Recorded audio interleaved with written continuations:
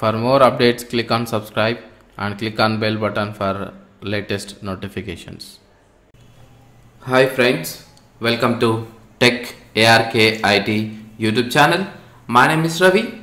In this video session, we are going to see that backup types. So what are the backup types available for taking the backups, any backups? So what those backups and what are their advantages here we are going to see in this video session. So basically most of the um, engineers they are starting their career but most of their career um, in like starting from one year to three four years they may not able to understand what is exactly the full backup is and incremental backup is and differential backup is and how they are going to uh, take the backups and how they are going to plan the backups and how they are going to restore it back whenever they take a different types of backups. So in this video i am going to explain that what is the backups is best for you and what is the um, things you have to take uh, in order to save your disk space or the what are the storage space for the backup whenever you are taking it to maybe considering it the disk library or maybe if you are considering to take the backup into the tape library kind of stuff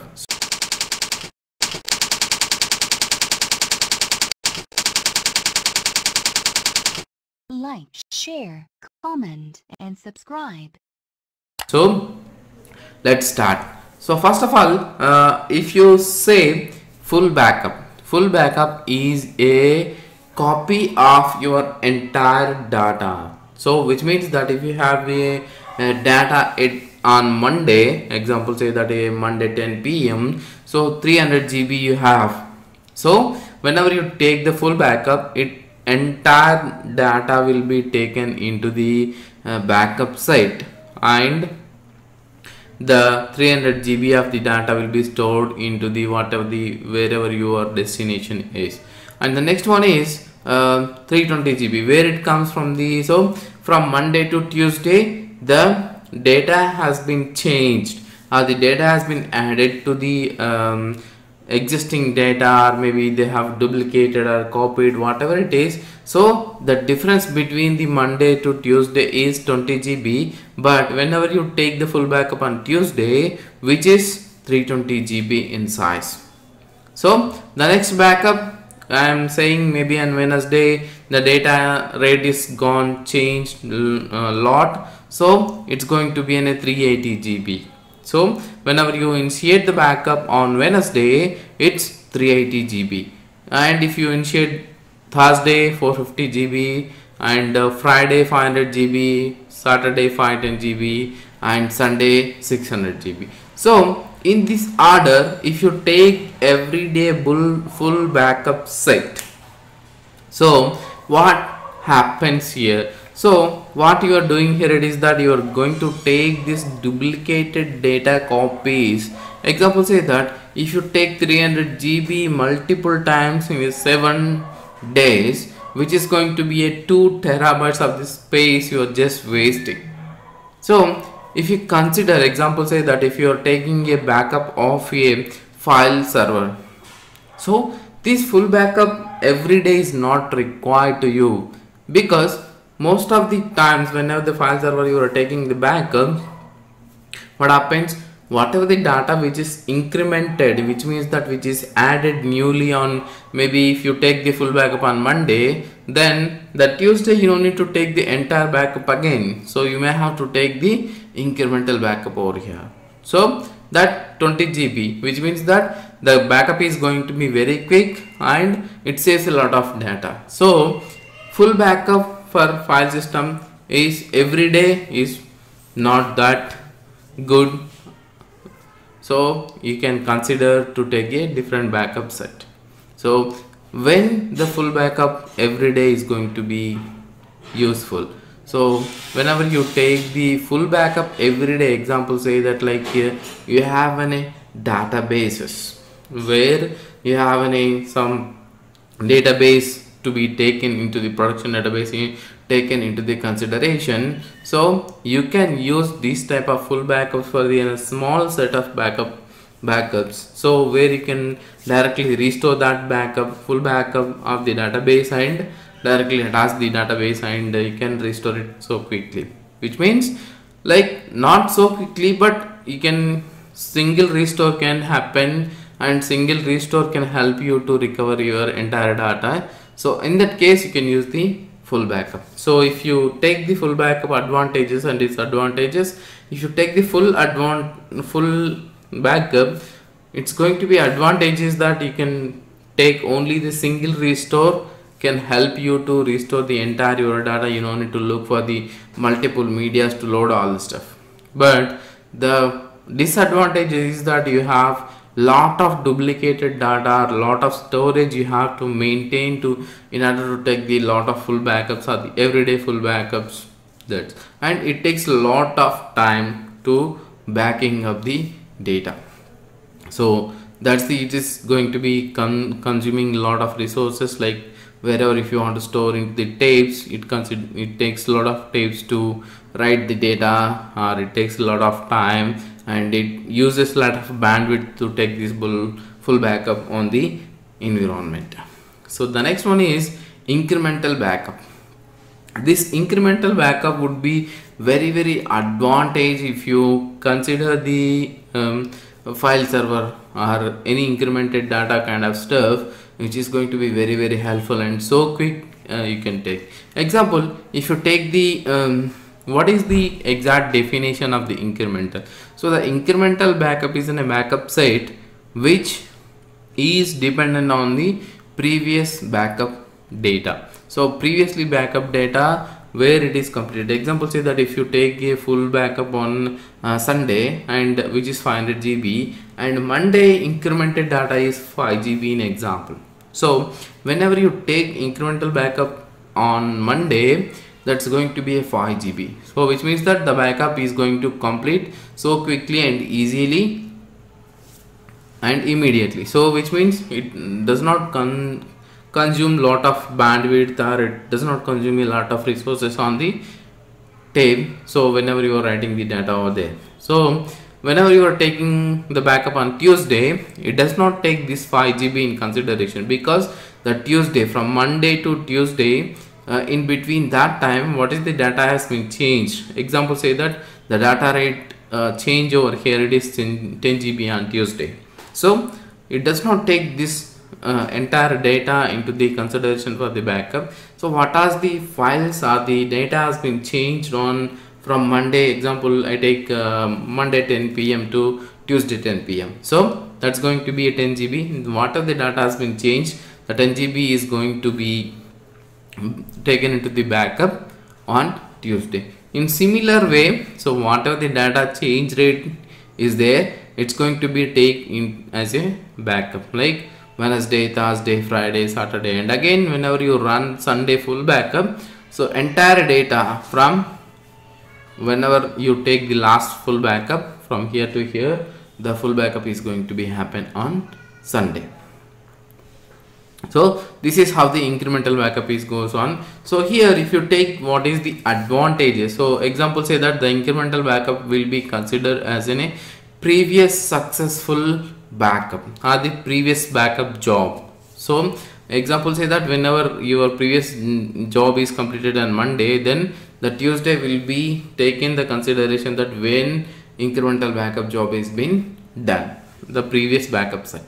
Again in the similar way last previous backup job will be uh, taken into the consideration. From there what are the changes has been taken what are the changes has been made to the system? Those are the data that those data can be taken into the backup. So this is how incremental works but here whenever you wanted to restore example say that uh, all of the sudden my data is lost on friday.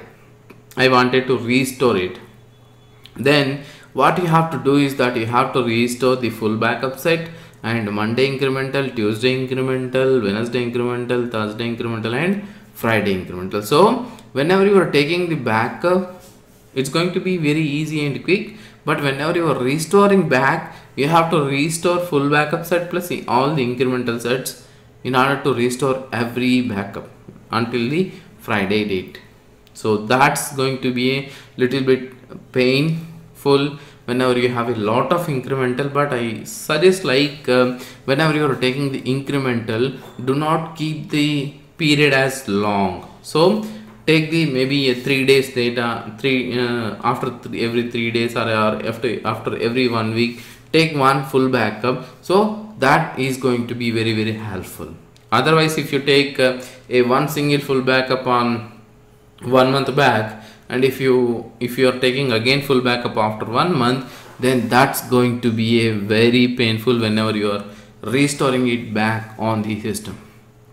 So do not take that kind of uh, approaches on incremental backup. So cut over there like every week would be in a more sufficient way to take. Or if you consider take every um, week a two full backup that's also going to help you in that situation like whenever you come to the restoration part so here the advantage is the go backup is going to be take more quick and as fast as the incremented change rate but the change rate is going to be calculated and scan will take a lot of time to identify what are the data has been changed in the previous and current data. So that's going to be a little slower whenever it is verifying the data change what is happened on previous backup set and current backup set current uh, data.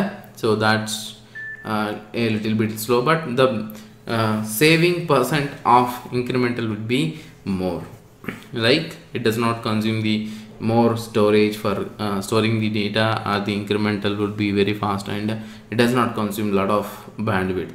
Does not consume because it's going to be a little bit uh, small data over here.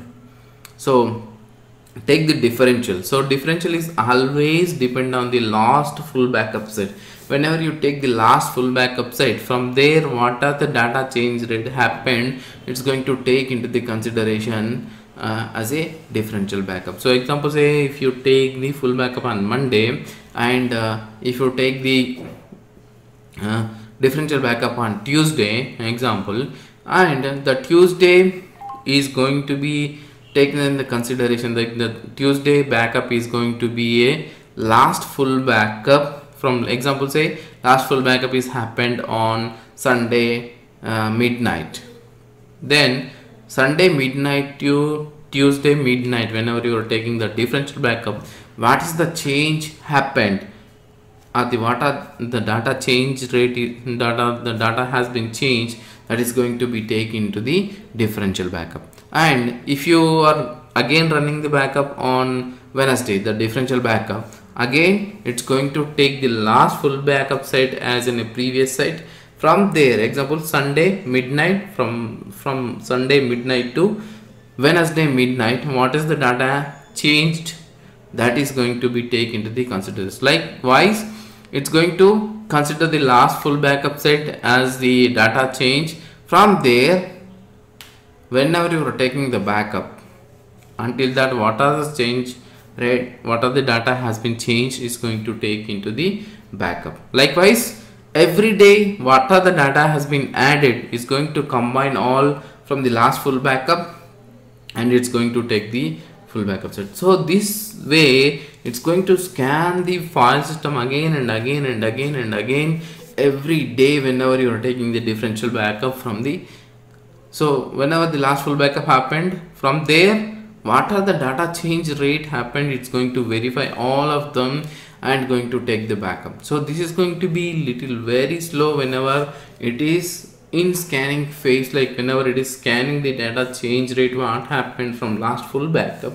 So that takes a lot of time and a lot of bandwidth. Or whenever the data also taking to the backup it is also going to a lot of time because it's considering the last full backup. Again here if you uh, take the last full backup from example from last one month to last in between 30 days then the differential is going to be very very huge and very very slow. So cut over the full backups in between so that the differential backup would be more helpful. So whenever you want to restore it back so you don't need to restore all of these backup sets. Um, you have to restore only example say i wanted to restore on thursday you have to restore last full backup set and Thursday differential. That's it. So those two backups only you can restore it and Thursday data will be back. So that's how the differential works. But whenever you are taking the backup, uh, so it takes a little slower and but here data saving is little bit more comparing to the incremental backup. Uh, comparing to the full backup, it's going to save a data uh, space on the uh, storage library. So this is how the um, data backups works like full backup incremental backup and differential backup. The main reason between the incremental and the differential backup is that the incremental backup will consider the last previous backup set. Whenever the the previous backup set example say monday 10 pm then if you're running the full back, uh, incremental on Tuesday 10 p.m. So what is the data change rate happened in between Monday 10 p.m. to Tuesday 10 p.m. that is going to take into the incremental. So the differential is that it depends on the last full backup. From last full backup when it is happened on the when it is the last full backup is happened from there what are the changes happened to until Tuesday 10 p.m. that is going to take into the consideration of the backup. So this is how the full backup, incremental backup and differential backup works. So uh, take your decision based on your uh, system. So whenever you are taking a large uh, system backups, so consider incremental or if you are taking a, a database level backups, consider full backups maybe a, a alternate day something like that. So that would be more helpful. Whenever you are taking a file systems or other things you can consider maybe incremental backup or the differential backup so this this about the backups and backup types how they works the backups. So in next video i'm going to explain you that what is the difference between the copy and backup. Let's stay tuned. Thanks for watching. Please subscribe to the channel. Please activate the bell button to get notified whenever new video is uploaded. Thanks for watching. Please follow us on social networking sites. If you have any technical related questions you can ask